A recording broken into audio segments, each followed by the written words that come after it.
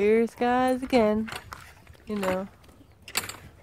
All day today and yesterday. Do you know the ocean's oxygen is depleting?